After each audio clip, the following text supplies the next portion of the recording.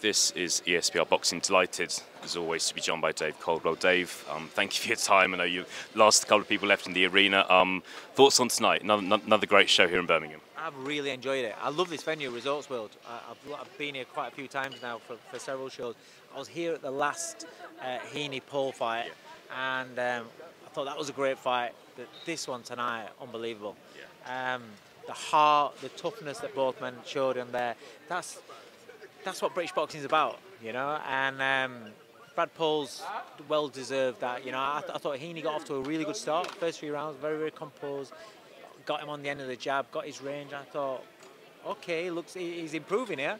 And then after after the knockdown, Peter right hand, I thought uh, Brad Pauls absolutely blasted him. You know, he, he, really did. You know, give him a, a really tough night. It, it, there was a lot of difficult moments for Heaney there. He kept digging in, kept digging in couple of times it looked like he's gone, but then the bell goes, saves him.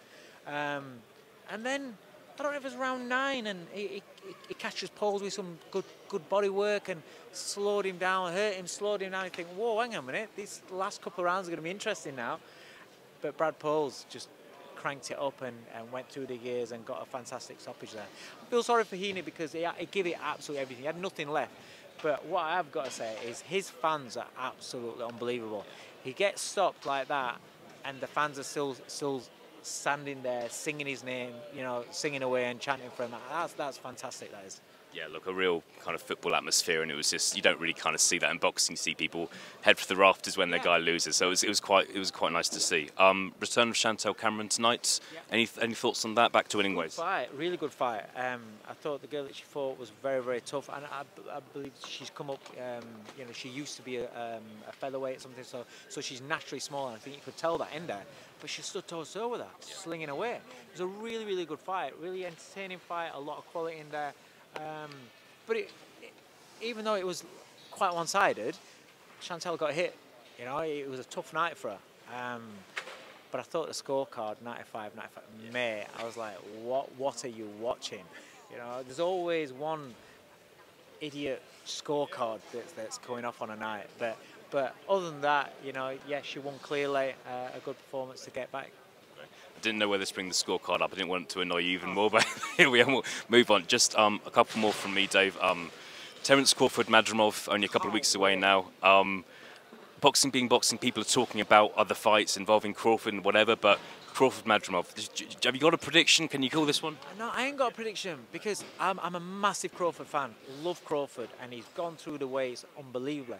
But there's, there comes a time when people that keep challenging themselves and testing themselves and keep going up in the divisions run into that guy that's just not only good on that level ability wise, but then they're just too too big.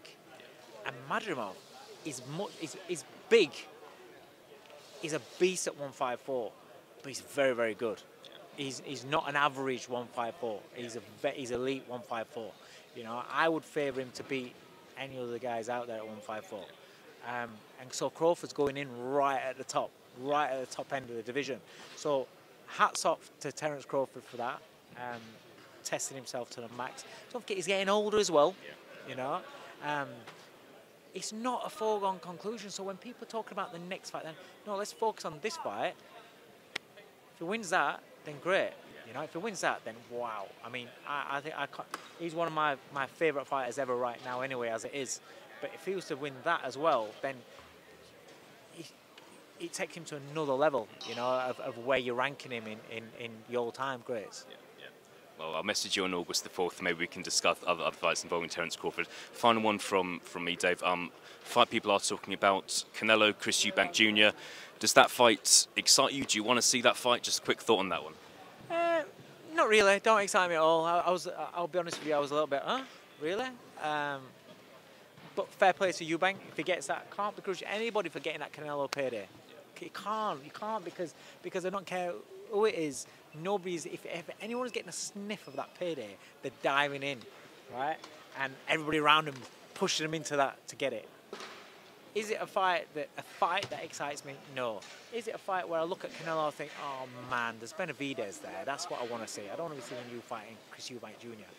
That's where I'm at with it. But Canelo's got a fantastic resume, so who am I to say to Canelo you can't have a game? It's like when people talking about um, Inoue is fighting uh, TJ Do- uh. It's like your initial reaction is what? But, but then you look at his resume and who he's been fighting, and you think, well, do you know what? It kind of like it can have a night off. It can have an easy fight. Do you know what I mean? People are all right with that. David Corbett, always a pleasure. Thank you very much for your time. Nice Cheers, Dave. Thanks very much, Dave. Cheers.